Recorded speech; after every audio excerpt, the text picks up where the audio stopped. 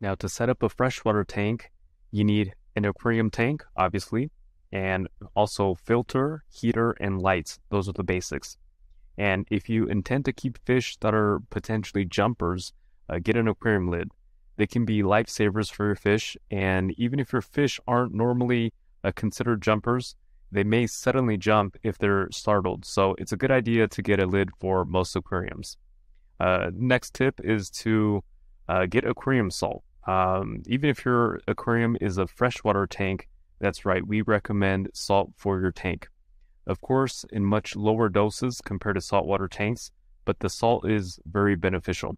Among many benefits, uh, salt helps protect the fish from pathogens and also helps their gill function properly.